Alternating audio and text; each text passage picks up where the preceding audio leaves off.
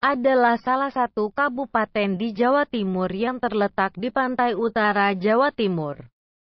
Kabupaten dengan jumlah penduduk sekitar 1,2 juta jiwa ini terdiri dari 20 kecamatan dan beribu kota di Kecamatan Tuban. Kabupaten Tuban mempunyai letak yang strategis, yakni di perbatasan Provinsi Jawa Timur dan Jawa Tengah dengan dilintasi oleh jalan nasional. Daendels di pantai utara, Kabupaten Tuban berbatasan langsung dengan Rembang di sebelah barat, Lamongan di sebelah timur, dan Bojonegoro di sebelah selatan. Pusat pemerintahan Kabupaten Tuban terletak 100 km sebelah barat Laut Surabaya, ibu kota Provinsi Jawa Timur dan 210 km sebelah timur Semarang, ibu kota Provinsi Jawa Tengah. Oleh karena itu, pada zaman dahulu Tuban dijadikan pelabuhan utama kerajaan Majapahit dan menjadi salah satu pusat penyebaran agama Islam oleh para wali Songo.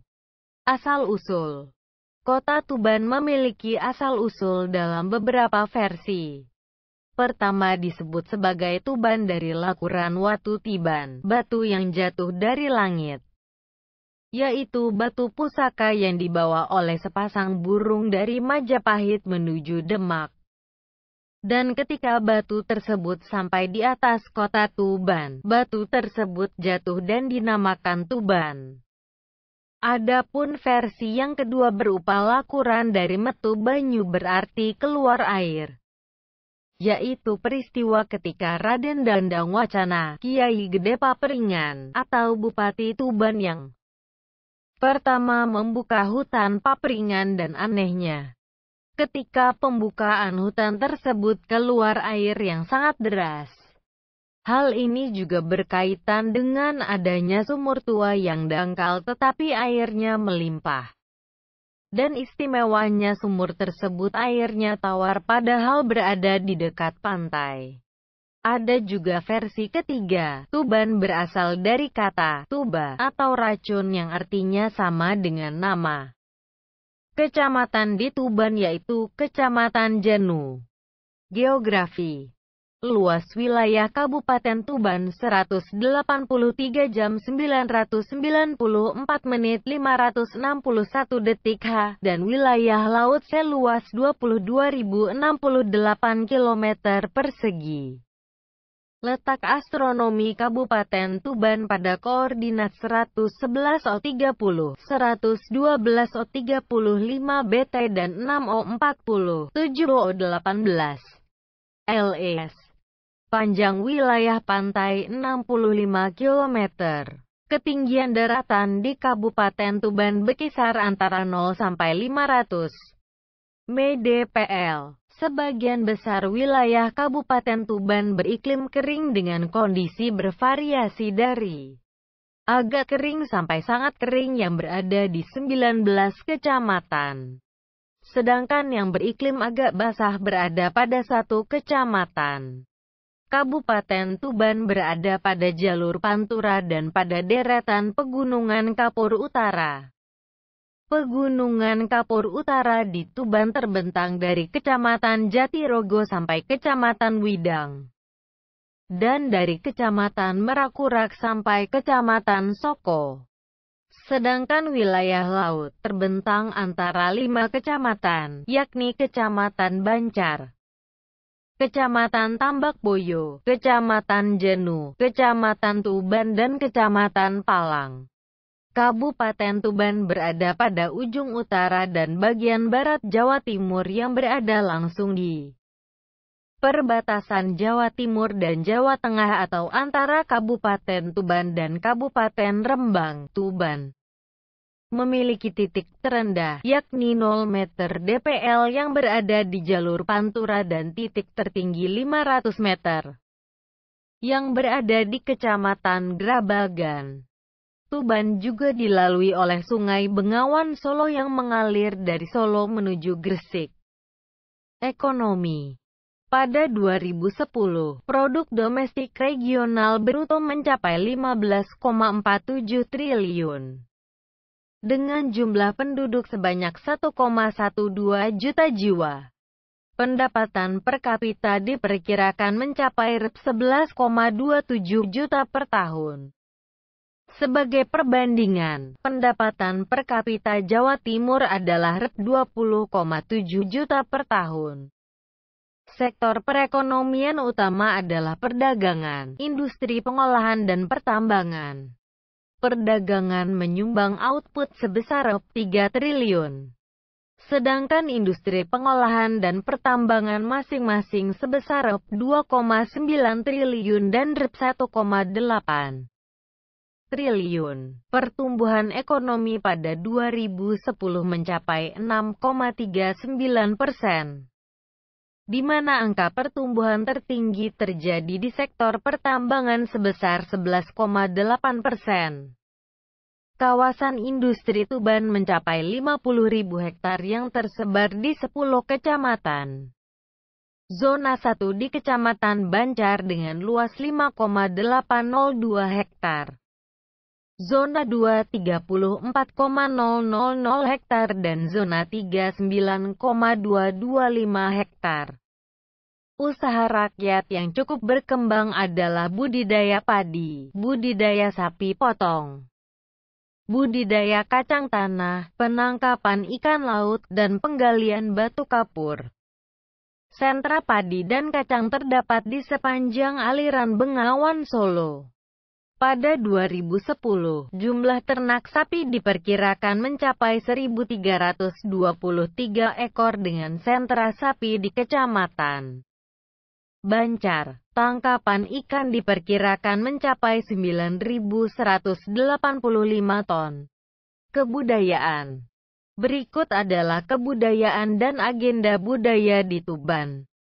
Sandur merupakan pertunjukan rakyat yang digelar di tanah lapang atau di halaman yang bersifat komunal. Penonton duduk di sekeliling pementasan tempat pertunjukan. Untuk membatasai dengan penonton dipasang tali berbentuk bujur sangkar. Dengan sisi-sisi sekitar 4 meter, tinggi sekitar 1,5 meter. Masing-masing sisi diberi janur kuning sehingga batas itu lebih jelas. Di tengah-tengah sisi sebelah timur dan barat dipancangkan sebatang bambu menjulang ke atas. Dengan ketinggian sekitar 15 meter.